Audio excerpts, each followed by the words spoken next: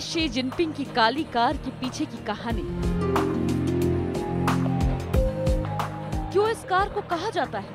चलता फिरता बंकर। गोली, रॉकेट, लॉन्चर, बम, बारूद, कोई भी हमला शी जिनपिंग के इस ब्लैक ब्यूटी के आगे फेल है। ये कार दुनिया की सबसे ताकतवर कारों में शुमार है। चीन पर एक छत्र राज करने वाली शी जिनपिंग की ये कार जैसे ही भारत की सड़कों पर दौड़ी, सबकी नज़रें इस पर टिक गई।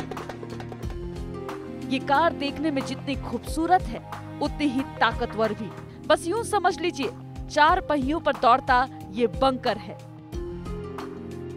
शी जिनपिंग कहीं भी जाते हैं, इसी कार में सफ़र करते हैं चूँकि चीन की सरकार हेलीकॉप्टर के इस्तेमाल से बचती है। इसलिए चेन्नई से महाबलीपुरम का 55 किलोमीटर का सफ़र शी जिनपिंग ने इसी कार में तय किया।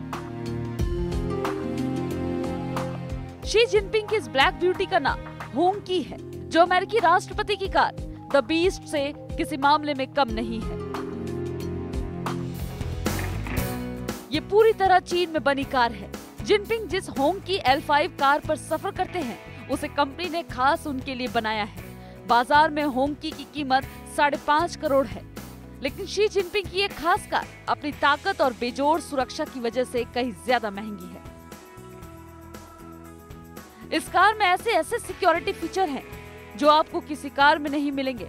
हैरानी की बात यह है कि कार के सिक्योरिटी फीचर को सीक्रेट रखा गया है। इस कार के बारे में जितना पता चला, उसके मुताबिक इस कार के खिड़की दरवाजे हथियारों से लैस है। ये आठ सेकेंड में 100 किलोमीटर की रफ्तार पकड़ सकती है। इसमें turbo charge engine V8 engine लगा है, जो कि 402 हार्स पावर के साथ आती है। होंग की कार के खिड़की दरवाजे बेहद भारी हैं। सिंगल गैस टैंक फुल होने पर 500 मील तक दौड़ सकती है। होंग की ब्रांड की कारों को चीन की लिमोजिन भी कहा जाता है। ये चीन की सरकार की आधिकारिक कार भी है।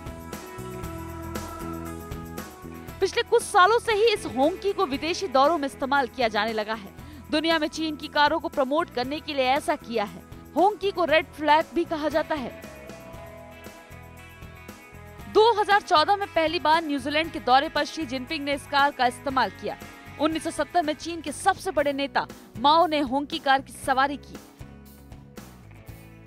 साल 2012 में होंकी ब्रांड की कार चीन में शान की सवारी बनी। माना जाता है कि शी जिनपिंग के पास ऐसी तीन खास कार है।